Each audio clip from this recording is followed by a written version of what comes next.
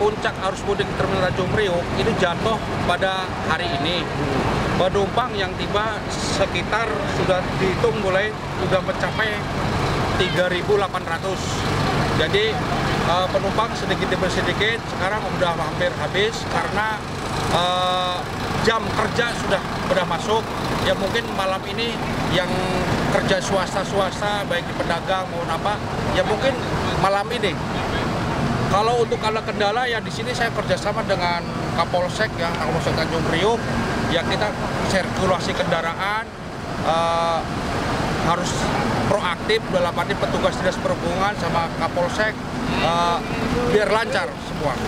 Kalau dibandingkan tahun kemarin itu kalau tahun kemarin itu kendaraan yang cukup sedikit penumpang banyak.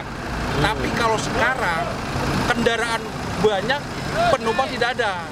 Terhitung mulai sekarang dari tahun kemarin perbandingan itu kendaraan naik sekitar 200. Ya, jumlah pemudik menurun karena dampak-dampak dari ya mungkin dari ada bis gratisan dari Ancol dari ini oh, ya. dari awal uh, petugas menghimbau yang nginep di sini maupun yang pulang agar bisa menjaga barang-barangnya jadi jangan sampai tujuan mereka pulang kampung tiba-tiba barangnya dicuri atau kemalingan nah alhamdulillah sampai saat ini di sini cukup aman dan tidak tidak apa-apa